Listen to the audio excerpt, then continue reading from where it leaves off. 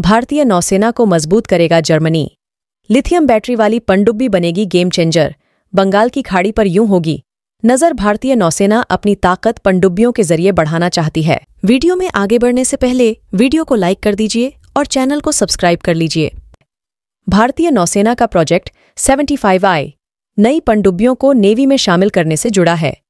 इससे जुड़े टेंडर के लिए एक जर्मन कंपनी भी दावेदारी ठोक रही है।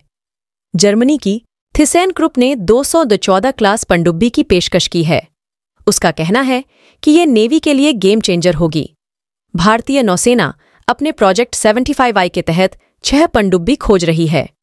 इन पनडुब्बियों में लिथियम आयन बैटरी के साथ fuel cell air independent propulsion AIP तकनीक होगी, जो उन्हें लंबी अवधि तक समुद्र की गहराइयों में छिपने और तेज गति से बिनी अपनी लोकेशन बताए लक्ष्य तक पहुँचने की क्षमता देगा। भारतीय नौसेना सबसे बड़ी और सबसे तेज बनकर प्रतिस्पर्धा में बढ़त बनाए रखना नहीं चाहती, बल्कि सबसे शांत और घातक बनकर प्रतिस्पर्धा में बढ़त बनाए रखना चाहती है। German ship builder Thyssenkrupp Bharat का कॉन्ट्रैक्ट लेने में सबसे आगे है। उसने अपनी 214 क्लास पनडुब्बियों की पेशकश की है। ये 212 सीढ़ी पनडुब्बियों के उन्नत तकनीकी पहलुओं को एआईपी टेक्नोलॉजी से लैस करता है। 212 सीडी क्लास पनडुब्बियाँ विशेष रूप से नॉर्वेजियन नौसेना के लिए बनाई गई हैं और बाल्टिक सागर में उनकी परिचालन आवश्यकताओं के हिसाब से बनाई गई हैं। दो सौ क्लास पनडुब्बियों को भारत की आवश्यकता के हिसाब से बनाया जाएगा। एआईपी टेक्नोलॉजी से जुड़े सबसे उन्नत बदलाव इसमें दिखेंगे। लिथियम आयन बैटरी से यह लैस होगा। इसमें एक उन्नत सेंसर और युद्ध प्रणाली होगी और इसमें स्टील्थ फीचर होगा, जो इसे दुश्मन के रडार पर नहीं आने देगा। नेवी के लिए होगा।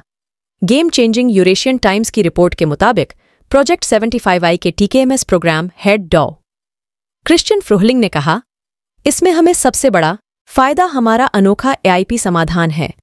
पनडुब्बी की डिज़ाइन अच्छी तरह से स्थापित एच क्लास 214 से निकली है, जो दुनिया की कई नौसेनाओं की सेवा में है।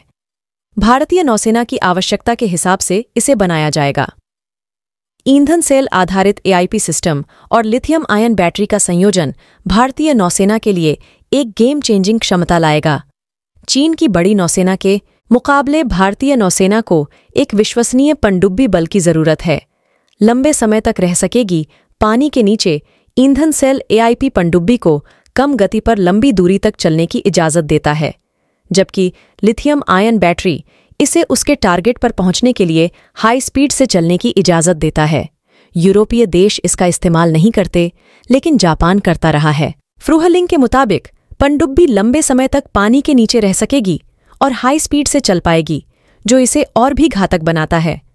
उन्होंने कहा कि भारतीय नौसेना की पनडुब्बी पानी में रहते हुए पूरे बंगाल की खाड़ी को कवर कर सकेगी।